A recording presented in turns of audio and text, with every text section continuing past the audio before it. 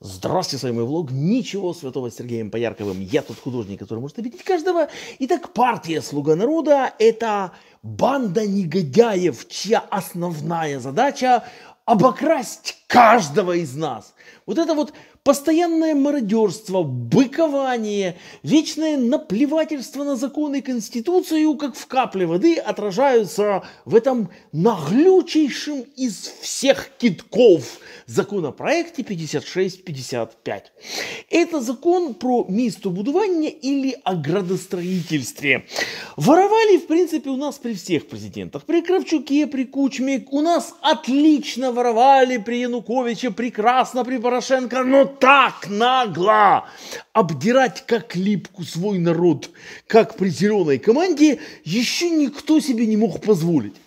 Это закон, который приняли, естественно, пролоббировали застройщики большие, которых как собак нерезанных в партии «Слуга народа».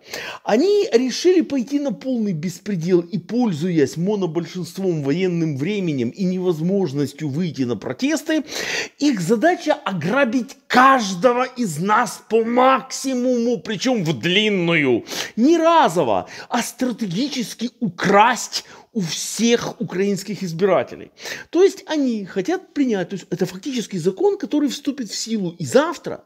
Можно будет построить вообще не советуя с местной властью любое здание в любом месте. То есть местная власть вообще бесправна. То есть вы вообще никак не влияете на то, кто и что строит конкретно в вашем населенном пункте. То есть партия «Слуга народа» выбила себе возможность лично на каждого из вас положить из-под хвоста. Причем еще вы же в этом будете виноваты. То есть они сделали так, что застройщики теперь не будут вообще советоваться ни с мэрией, ни с депутатом. Да чихали они на вас и на всех депутатов. Они себе э, узаконят парочку приватных разрешительных организаций, причем там еще очень интересно, что для того, чтобы стать вот этим экспертом, личным экспертом этих застройщиков, надо внести, по-моему, 5 миллионов евро залога. То есть, ну, вы представляете, да, у кого есть сейчас вот деньги, чтобы внести 5 миллионов евро. Поэтому они вот этих карманных экспертов себе назначат 2-3 фирмы на всю страну и будут обелечивать всех, кто строится, в принципе, в нашем государстве. Вот от Львова до Харькова все будут вынуждены отлистать им за разрешение, а те застройщики, которые все это себе протащили, будут плевать на любые нормы э, строительные. То есть они с помощью своих карманных, собственно говоря, экспертно-оценочных фирм, они и разрешат себе любимым все. То есть любой беспредел, который им придет в голову. Допустим, в вашем населенном пункте есть там маленькие уютные коттеджики.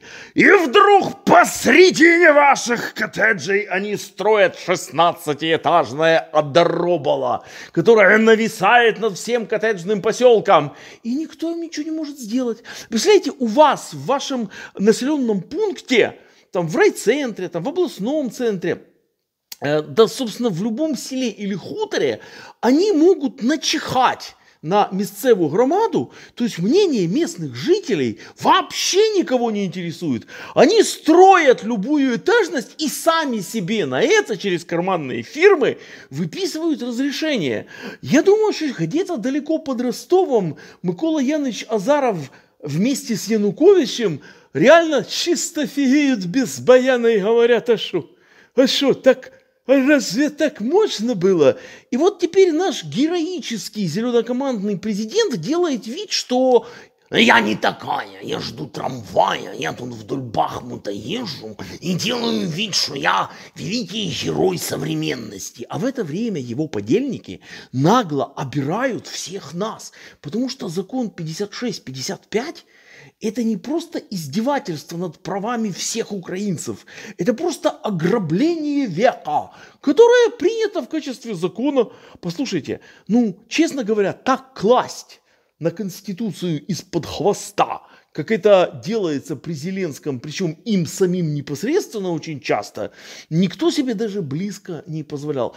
Меня многое что смущает, очень многое. Во-первых, э, кроме закона 56-55 вызывают большие вопросы закон 82-71.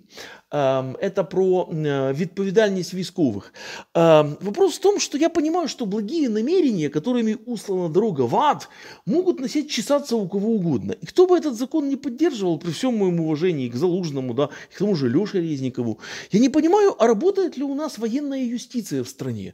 Объясните мне, пожалуйста, на пальцах, где она и каким образом, а если ее нет, то кто будет принимать эти решения? Наши коррумпированные суды, включая Печерский? Простите, ну, а у нас кто вообще, э, э, кто вообще возьмет это в свои руки? То есть у нас опять Татаров, да, вместе с Ермаком, грубо говоря, будут вершить правосудие над э, теми, кто выходил на Майдан, над добробатами, над теми, кто пошел в армию. То есть по этому закону очень много можно будет, а, наколбасить коррупционных схем, б, посадить людей, которые ни в чем не винны, с, объясните мне механизм отработанный, и д, Ребят, я давно считаю, что, ну, там хорош или не хорош, по вашему мнению, Разумков, но, в принципе, э, его и уволили-то, собственно, за что?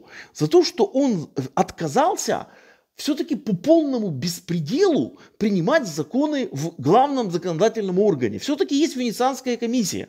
В конце концов, раз мы идем в Европу, то мнение европейцев по поводу закона очень важно. И если с одной стороны нам говорят, давайте посреди войны введем техосмотр, ну, по просьбе, собственно, нас с вами, по просьбе трудящихся, да, давайте э, жизнь сделаем потяжелее, да, то есть, ну, все же разжировались тут, у всех же бешеные доходы, надо еще и за техосмотр заплатить. Еще одна огромнейшая, дичайшая коррупционная схема. Ребята, у нас количество коррупционных схем во время войны не уменьшилось, а только увеличивалось. И, кстати, кстати, Венецианская комиссия высказала свое мнение по поводу назначений судей там, э, КСУ, то есть Конституционного суда Украины, абсолютно однозначно. Но на ее мнение зеленая команда во главе лично с Зеленским опять-таки традиционно кладут из-под хвоста. То есть им абсолютно начихать. То есть им надо вот до конца своего срока пока их сраными вениками и ссаными тряпками не выбросили из власти и не привлекли к суду, накосить максимально, наскирдовать, куда они собрались бежать, я не представляю. Но честно говоря, ну, вот я общаюсь и с теми, кто воюет, и с теми, кто волонтерит. Я общаюсь с огромным количеством людей, просто ну, в силу специфики моей работы и занятий вот теперешних. И я понимаю, что вот это ну, ненависть к собственной власти сдерживается исключительно военным положением.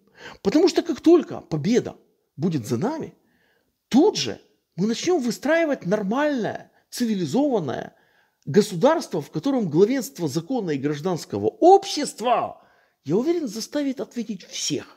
Всех этих наглых пристепом и негодяев, которые во время войны крысят, хомячат и подворовывают во всех возможных ипостасях. А вас я прошу не забыть подписаться на мой канал, ставьте лайки, пишите комментарии, распространяйте в соцсетях. И несмотря ни на что, всем миром мы уторбим все-таки окончательно и бесповоротно Российскую Федерацию, и победа будет за нами, потому что за каждым из нас не заржавеет.